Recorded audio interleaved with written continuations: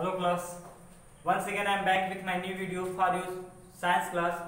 Today I am going to take a new chapter that is chapter number 4 and the name of the chapter is material material metal and non-metal. Means generally the chapter name is metal and non-metal. Okay. One thing more. The uh, um, question relating to the chapter 3rd I will post in one or two days in your WhatsApp group. Okay. So question आएगी what is metal and what is non metal so first thing question I what is material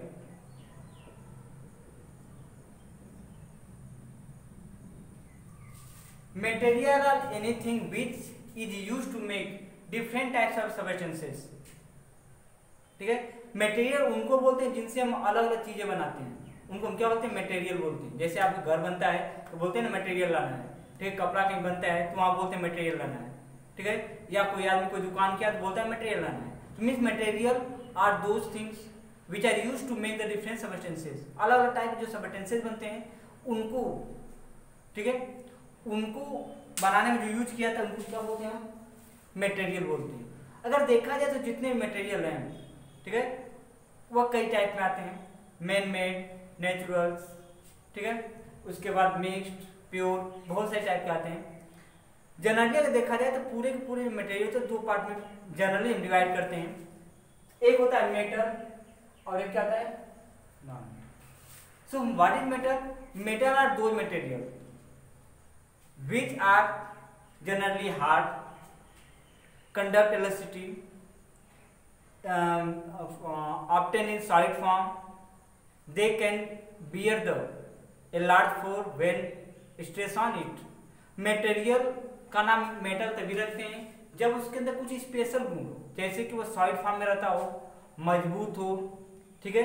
उसको खींचने पर जल्दी टूटे नहीं, ठीक है? उसके अंदर करंट फ्लो करता हो हीट फ्लो करता हो, यानी उसको गर्म करें तो एक इंड सिरा गर्म करने पे, एक इंड गर्म करने पे दूसरा इंड कुछ टाइम बाद गर्म हो जाए। ऐसे सबको हम क्या बोलते हैं? मेटल बोलते हैं। जबकि नॉन मेटल क्या होते हैं? नॉन मेटल और those material which don't which are generally in liquid form और gaseous form which are not as hard as solid जो सॉलिड है, उसकी तरह हार्ड नहीं होती। कुछ ऐसे नॉन मेटल है जो सॉलिड फॉर्म पाए जाते हैं बट उतने हार्ड नहीं होते हैं। चाक की तरह होते हैं। जो देखो ना चाक आता है उसी की तरह होते हैं ऐसे घुमाओगे तो टूट जाएगा। बट लोहे को ऐसे घुमा तो टूट नहीं सकता वो। ठीक है छड़ है, आप ऐसे घुमाओगे तो नहीं टूट सकता हो तो जिनके अंदर मेटल के गुण नहीं पाए जाते हैं वह क्या कहलाते हैं? नॉन मेटल कहलाते हैं। नॉन मेटल मेटल गुण क्या है? कि सॉइड में जनरली होना चाहिए, उसमें करंट फ्लो करना चाहिए, ठीक है? उसकी बॉलिंग हीटिंग पॉइंट ज़्यादा होना चाहिए, उससे डिफरेंट चीज़ें बना सकते हैं। ये सभी क्या है? मेटल के। और जो यह क्वालिटी ना शो कर पाए, उनको हम नॉन मेटल बोलते हैं। अगर चैप्टर की शुरुआत किया जाए तो we generally start it from the atom and elements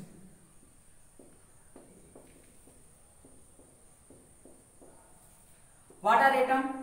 Is just like the building block of a building okay मतलब जब कोई घर बनाते हैं तो उस दौरान जो छोटे वाले पार्ट स्टार्ट करते हैं जहाज़ बनाना, उसको हम बिल्डिंग ब्लॉक करते हैं। ठीक वैसे एटम भी होता है। जैसे बिल्डिंग ब्लॉक मतलब नॉर्मली क्या होता है, एक बिल्डिंग में जो सबसे छोटा पार्ट आता है, वो ईट को मानते हैं। ईट को हम लगा लगा कर एक घर तैयार करते हैं। जनरली यही माना जाता है। छत वगैरह की बात अलग है, लेकिन घर बनाने में यही मानता है कि ईट लगा लगा कर हम क्या करते हैं, घर तैयार करते हैं। ठीक वैसे जितने भी मटेरियल हमारे सामने हैं ठीक है? वो अकेले नहीं है, क्योंकि वो जो है बहुत छोटे से, ठीक है? वेरी टीनी ठीक है? बिल्डिंग ब्लॉक से वो बने हुए, वो आपस में जुड़ते जुड़ते जुड़ते बड़ा बन गया, ठीक है? और बड़ा होने से इतना हो गया। जैसे अगर एक ईट को आप तोड़ते हो, ठीक है? तो बड़ा सा ईट अगर उसको तोड़ोगे, दो पार्ट में फिर तोड़ोगे, तोड़ते तोड़ते रहोगे तो धूल की तरह हो जाएगा, ठीक है? और उससे भी ज़्यादा टूट सकता है वो। इतना ज़्यादा टूट सकता है वो क्या होगा? आँख से दिखाई भी नहीं दे सकता है, ठीक है? तो वो हमारा क्या होगा? Atom means atom is the smallest part smallest particle of any material किसी भी मटेरियल का जो स्मॉलेस्ट पार्टिकल होता है, उसको हम क्या नाम देते हैं? एटम नाम देते हैं। ठीक है? उनको हम क्या नामते हैं? एटम यानी स्मॉलेस्ट जो होता है smallest particle of a material हम नॉर्मली मटेरियल नाम दे रहे हैं। वैसे हायर क्लास में मटेरियल यूज़ करना सही नहीं माना जाएगा बट तुम्हारे लेवल के हिसाब से तो सही रहेगा। स्मॉलेस्ट पार्टिकल ऑफ़ मटेरियल क्या कहलाते हैं? एटम्स कहलाते हैं। ठीक है? ये जो एटम्स होते हैं, वह जो है कि जुड़ते हैं आपस में। तो जुड़ने के दो कंडीशन होते है।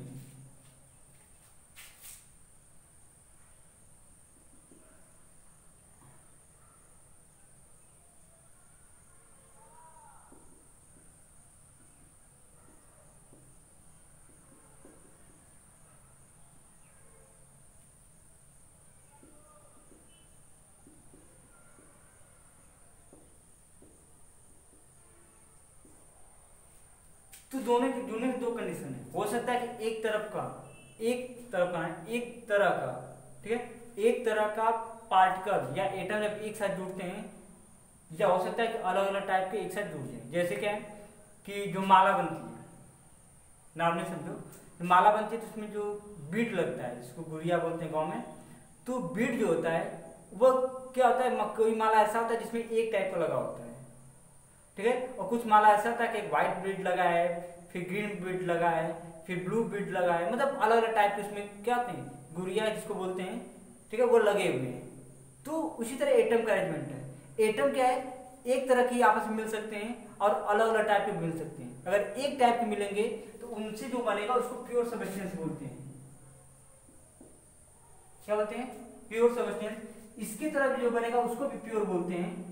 ठीक है? क्योंकि एटम का जुड़ना प्योर सबस्टेंस थोड़ा से एक बार सुनो। हाँ तो जब एक तरह के जुड़ेंगे तो इनको हम एलिमेंट नाम देंगे। क्या नाम देंगे? एलिमेंट उसको प्योर को भूल जाना, दोनों प्योर है। दोनों क्या है? प्योर है। तो जब एक तरह के एटम एक साथ जुड़ेंगे तो उनको हम क्या बोलेंगे? एलिमेंट बोलेंगे। और जब अलग अलग टाइप जुड़ेंगे तो वो कंपाउंड कहलाएँगे।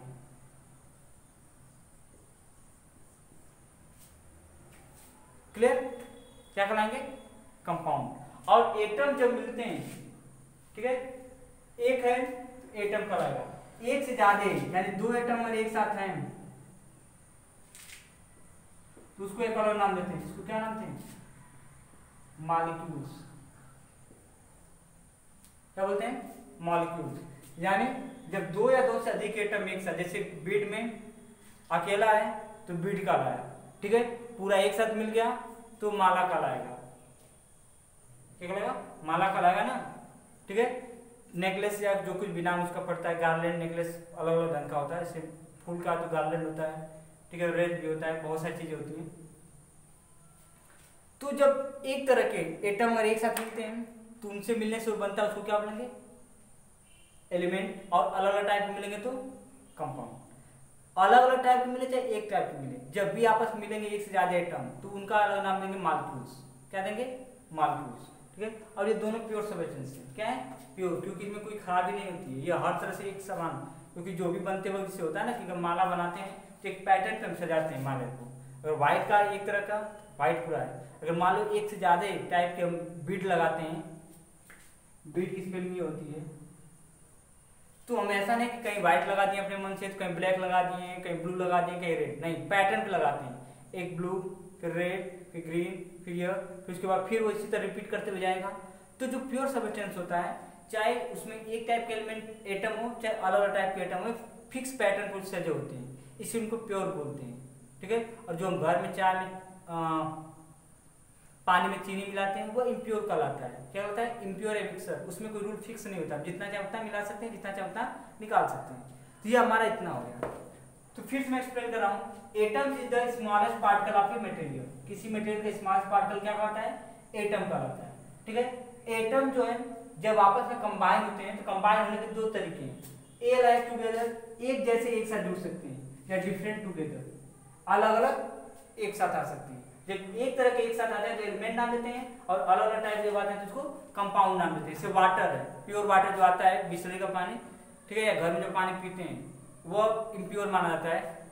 क्योंकि उसमें बहुत सारे हार्मफुल चीज़ें मिली होती हैं, या साल्ट वगैरह मिला होता है।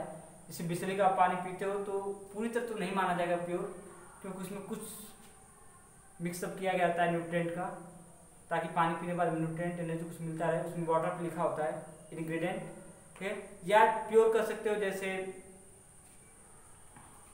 जो इन्वर्टर का पानी आता है बैटरी का पानी आता है ना, ठीक है डिस्टिल वाटर तो वो पूरी तरह प्योर है, क्योंकि सिर्फ़ और सिप वो एक टाइप के कंपाउंड से बना हुआ है, ठीक है? लोहा पूरा है, वो प्योर है। स्टील जो है, एक तरह से मिक्सर है क्या है? मिक्सर है। इस तरह से बहुत सारी चीज़ सामने आएँगी। अभी शुरुआत हो रहा है क्लास का, ठीक है? आगे नाइन टेंथ इलेवन ट्वेल्थ पढ़ोगे, तुम सबके बारे में जाने कौन कौन एलिमेंट है कौन कौन कैसे होते हैं। ये हो गया इस तरह से। अब करा किसी मटेरियल को। अब इन्हीं में से एलिमेंट में से दो पार्ट किए जाते हैं। दो क्या? तीन पार्ट किए जाते हैं। इनमें से कुछ मेटल होते हैं। इनमें से कुछ नॉन मेटल होते हैं और इनमें से कुछ क्या होता है? मेटलॉइड होते हैं।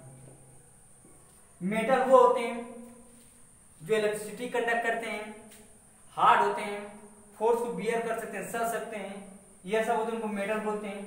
जिनके अंदर ये प्रॉपर्टी नहीं होती है वह नॉन मेटल कहलाते हैं। और मेटलॉइड वो होते हैं जो मेटल और नॉन मेटल दोनों की प्रॉपर्टी होल्ड करती है, दोनों प्रॉपर्टी अपने साथ जुड़े होते हैं वह क्या कहते हैं? मेटलॉइड मेटलॉइड का वैसे तो कोई खास नंबर नहीं है ज़्यादा नंबर में नहीं पाए जाते हैं फिर भी उनका यूज़ बहुत ज़्यादा है।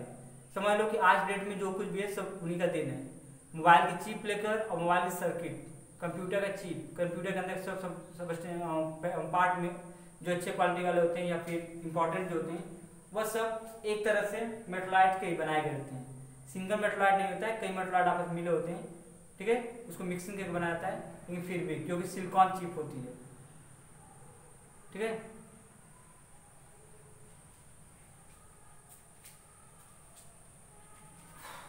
तो ये हमारा हो गया कितना? एलिमेंट तीन पार्ट में। यानी एलिमेंट डिवाइड होते हैं मेटल नॉन मेटल और मेटलाइड अब स्टार्ट होता है what is the property of metal means कोई मटेरियल को मेटल कब कहते हैं? कोई मेटेरियल दे दिया तो क्या क्या प्रॉपर्टी होल्ड करती है, उसको मेटल कहेंगे। तो पहला था मेटाबिलिटी मेलाबिलिटी